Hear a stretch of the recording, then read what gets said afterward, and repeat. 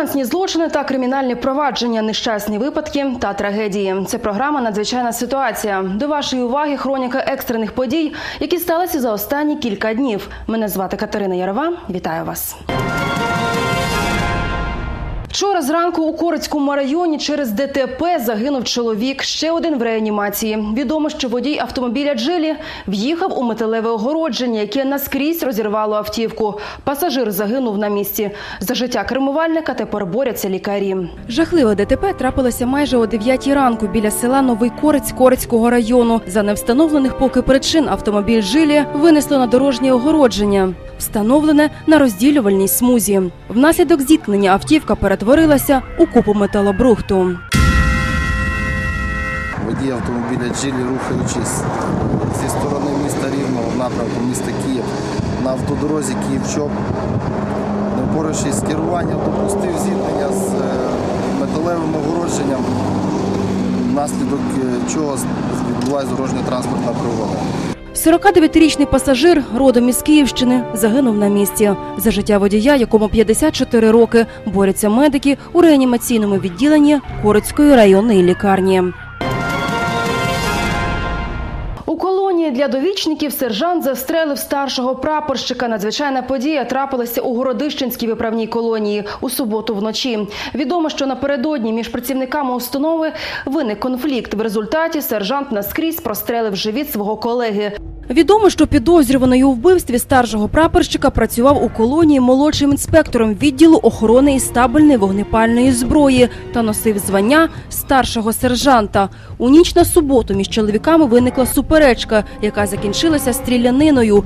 Усе відбувалося у вартовому приміщенні. Він е, саме знімався з поста, тому що вони по два часа несуть службу на вежах по охороні об'єкту. Він час знімався з поста і мав поставити е, зброю у ставницю, але там декілька секунд мав можливість піти по коридору, де якраз той час знаходився відповідальний по охороні, це старший прапорщик. Травмованого прапорщика внутрішньої служби негайно шпиталізували каретою швидкої допомоги до Рівненської обласної клінічної лікарні із попереднім діагнозом наскрізне вогнепальне поранення черевної порожнини. Вчора в обідню пору чоловік помер. Сержант, ви знаєте, згідно 208 статті Кримінального процесуального кодексу взятий зараз є затриманий. Сьогодні вирішується питання по взяття його під варту як запобіжного заходу. Я, навірно, думаю, оскільки нас потерпілий помер, його все-таки візьмуть під варту і далі буде розслідування проводити тільки прокуратура, тому що слідство зразу на першій стадії взяла прокуратура. Підозрюваного 25-річного сержанта затримали. Тепер він спілкується із правоохоронцями. Кривава дискотека у Рівному. Цими вихідними у нічному клубі Магнат через суперечку постраждало троє людей. Одному із них не пощастило. Чоловік сьогодні вночі помер у лікарні. Інші двоє молодих хлопців із зрізаними ранами на лікарняних ліжках. Міліція з'ясовує осіб, причетних до скоєння злочину. Шумна поведінка трьох відвідувачів у нічному клубі Магнат цієї суботи привернула увагу охоронців. Розказує сторож закладу. Останні попросили звільнити приміщення клубу. А вже на вулиці і самі стали жертвами нетверезих чоловіків. Їх поранили ножем. Молодий охоронець, який тільки влаштувався на роботу, опинився на лікарняному ліжку. Працює Ти якраз стажировку пройшов один день, а це був другий. Перший день за- заступав. Та ви що? Я серйозно. Я сам був в шоці. Така ж доля спіткала іншого чоловіка. Щоправда, у магнаті він працював раніше. Найменше у цих кривавих розборках пощастило одному із цієї шумної компанії. Чоловік, якому було 30 років, сьогодні вночі помер у лікарні від черепно-мозкової травми. Як було пізніше встановлено, е, троє відпочивальників даного закладу почали себе шумно поводити, і охоронці попросили їх виїхати з розважального закладу. Е, Це викликало обурення у чоловіків, і між ними виникла суперечка, яка згодом переросла у бійку. Е, Під час цієї бійки отримали тілесні ушкодження троє чоловіків. В результаті одних з них, е, в результаті яких один з чоловіків помер. Нашумілу компанію чоловіків, які родом із Грузії, у нічному клубі бачили вперше. Наразі чоловік, який завдав тілесні ушкодження, що спричинили смерть, е, знаходиться у розшуку. Працівники міліції встановлюють його особу та місце його перебування.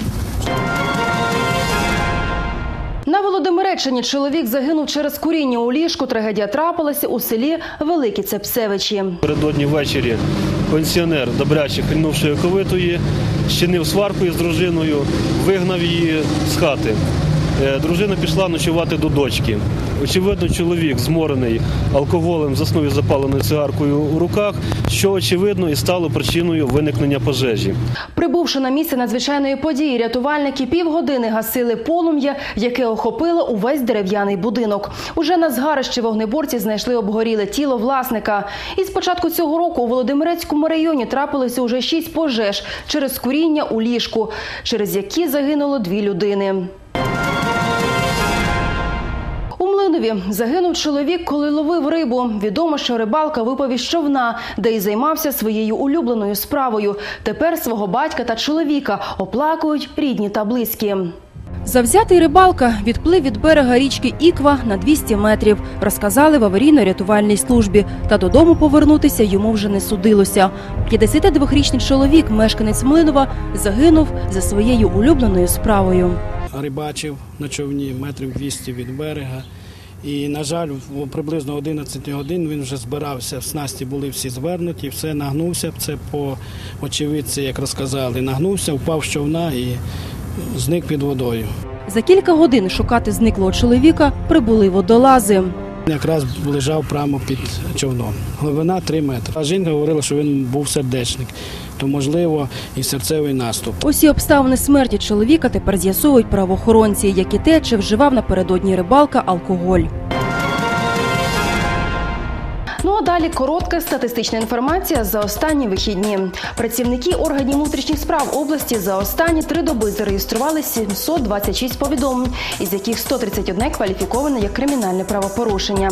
Підрозділи ДАІ за три доби на дорогах області зафіксували сім дорожньо-транспортних пригод, де загинула одна людина. Ще десятеро отримали травми. Всього зареєстровано 377 порушень правил дорожнього руху, а 61 водія затримали за кермом у нетверезому стані. Служба із надзвичайних ситуацій області за вихідні зареєстрували 9 пожеж, три нещасні випадки. Один раз рятувальники надавали допомогу населенню. Ну і такими надзвичайними подіями запам'яталися нам вихідні дні. Більше усілякої інформації шукайте на сайті телеканалу Сфера, де розміщені і усі наші контакти. Вам бажаю пильності та обачності. І до зустрічі у наступному випуску програми Надзвичайна ситуація.